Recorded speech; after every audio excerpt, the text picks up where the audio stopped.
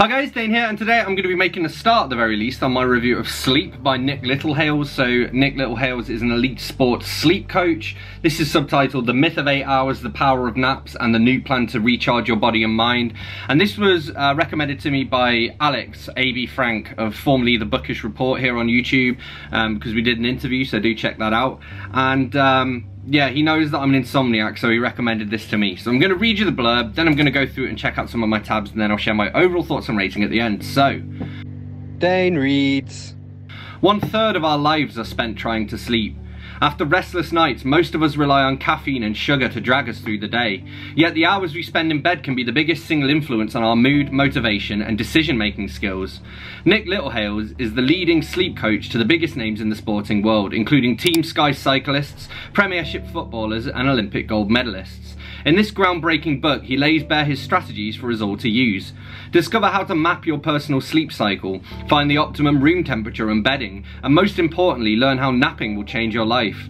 Read Sleep to learn from the best in sport and kickstart a more confident, successful, and happier you. So let's go through and check out some tab. So he mentions working with Sir Dave Brailsford, who was the former Team GB cycling coach, and he was famous for uh, a principle he called marginal gains, where it was like all of these tiny little improvements you can make all add up. So like he even taught the cyclists the, uh, how to wash their hands properly so they caught fewer colds so they could spend more time training and all of that sort of stuff. And so this was some interesting stats to kick things off. The average person in Britain gets a little over six and a half hours sleep a night. Furthermore, over a third of the population gets by on only five to six hours a night, 7% more of us than just three years before. It's a similar story around the world, with over 20% of the population in the USA reporting less than six hours sleep on workdays, and Japan not far behind. The statistics show that in these countries, as well as the likes of Canada and Germany, most people catch up on their sleep at the weekend. Except, as he explains, that's not really how sleep works. You can't really catch up on sleep. Once you've missed it, it's gone. And he talks about chronotypes, which is basically whether you're a morning person or an evening person. So he says, chronotypes are a genetic trait and I can usually spot them a mile off in people I meet. Do you like staying up and going to bed late? Do you need a, do you need an alarm to get you up for work in the morning? Are you partial to a nap in the daytime? Do you often skip breakfast? Do you sleep in on your days off? Then it's likely that you're a PMer. AMers wake naturally, enjoy their breakfast and love the mornings. They tend not to need an alarm to wake them, they're less likely to feel fatigued during the day, and they go to bed reasonably early. He says here uh, on the subject of caffeine, studies show caffeine is at its most beneficial in athletes at moderate quantities of around 3 to 6 milligrams per kilo of body mass, and the Food Standards Agency in the UK recommends 400 milligrams as the daily intake of caffeine for the average person. To put that in perspective, a Starbucks Grande brewed coffee contains 330 milligrams. The same chain single espresso contains 75 milligrams, and a home brewed cup of coffee can contain as much as 200 milligrams. Talks about people working from home, and this is interesting because this was written pre-COVID as well. So he says, for the increasing number of home workers we're seeing in society as working habits change, 4.2 million were reported in the UK in 2014, some 13.9% of the workforce, compared to 2.7 million in 1998. Going for a good walk outside for some fresh air and sunlight is a good thing to incorporate into your routine before you start work. 1998, I mean, that's early days of the internet. I can't even imagine working from home then. He talks about napping as well, and, and that's why uh, long-haul pilots nap during the flight, because they have improved alertness when they're ready to land. He says, the power of the nap cannot be ignored. A study by the University of Dusseldorf has shown that even very short naps enhance memory processing, while a NASA study looking at their effects on pilots on long flights reported, naps can maintain or improve subsequent performance, physiological and subjective alertness, and mood. One of the authors of that report, Mark Rosekind, head of the National Highway Traffic Safety Administration in the USA, has said that a 26 minute nap improves performance in pilots by 34% and alertness by 54%. And this was really interesting and I've actually have started sleeping like this sort of consciously now. He says, sleeping on your side is the only sleeping position I recommend, but it might not be the side you currently sleep on.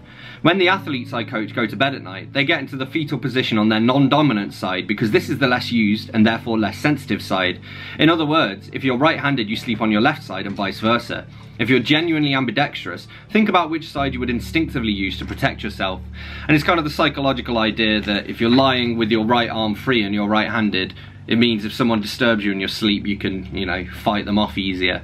Some people go, and he goes, some people even let their pets on their bed. Yeah, I do that. Biggie actually sleeps next to me on the pillow beside me. And he talks about how the use of our bedrooms has evolved. It used to just be a sleeping place and now it's for so much more than that. He says, adolescents have always made their bedroom a parent-free sanctuary in which to indulge their solo pursuits and hopefully do their homework. University students in halls of residence and shared houses have to make do with a single room in which to study, sleep and have some personal downtime. In fact, it makes financial sense for many people in their 20s and even their 30s to continue living in shared houses as they set out on their careers. But what we're seeing now is this trend continuing even with people into their 40s and beyond, who have good incomes and careers because prices in both the buying and rental markets, particularly in metropolitan metropolitan centres like London and New York are spiralling out of control. Fortunately, I do just sleep in my bedroom. He talks about how Wayne Rooney needs the sound of a vacuum cleaner or a hairdryer to fall asleep to. I normally fall asleep with uh, rain sleep sounds on on my Google Home. And this was cool because I hadn't heard of this. He says, one of the latest biohacks being used in sport is Montmorency tart cherries. These aren't the kind of cherries you'll find in the supermarket. They're grown mainly in the USA and available either dried or as a juice online and in health stores, but they're worth tracking down. Professor Glenn Howatson of Northumbria University has led numerous studies demonstrating their benefits on recovery after strenuous exercise, with one such piece of research proving that the cherries produce an increase in melatonin which is beneficial in improving sleep duration and, and quality in healthy men and women and might be of benefit in managing disturbed sleep. Here comes the cat, I can see him getting ready to jump up. And he says it can help to be aware of your circadian rhythms. Most world records in athletics and cycling are broken in the afternoon and evening. He also talks about wearable devices, things like the Fitbit, which like claim to track your sleep. And he says basically take them with a pinch of salt, they're probably not really that useful. I track my sleep on mine, but I, I just generally look at it as for curiosity rather than anything. And he talks about insomnia and how it can be a marker for other problems such as anxiety disorders and depression. Um, I have insomnia, anxiety and depression. Go me, a lot of fun. So he's talking about whether drugs are worth taking, like to help you sleep, and he says, uh, a study of Z drugs, the group of hypnotics to which Zolpidem belongs, reported an improvement of only 22 minutes on the length of time it took the subjects to get to sleep compared to a placebo. 22 minutes is a big upgrade. I would happily take 22 minutes less to get to sleep. And he talks about how if you work the night shift, most people might have a glass of wine in the evenings, but you can't really do that unless you want to be frowned upon by society. I say be frowned upon. And he talks about whether to avoid having sex before a big football match, and he says, Clemens Westerhof, a Dutchman who achieved some success managing Nigeria's football team, put it best when he said, it's not the sex which tires out young players, it's the staying up all night looking for it.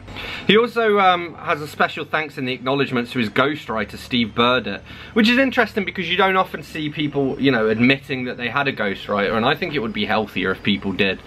But yes, that's about all I have to share for you from Sleep by Nick Littlehales.